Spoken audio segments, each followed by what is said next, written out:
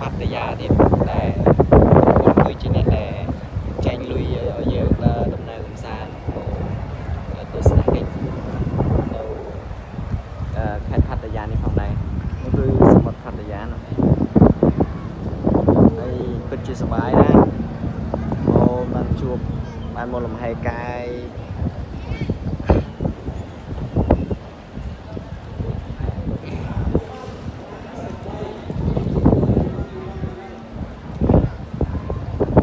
បាទសូមអរគុណ ច្រើនចំពោះការបានទស្សនានៅវីដេអូដែលខ្ញុំបានបង្ហោះតែបានសូមអរគុណនេះផងដែរនេះមកសូមបងប្អូនជួយ Subscribe ផង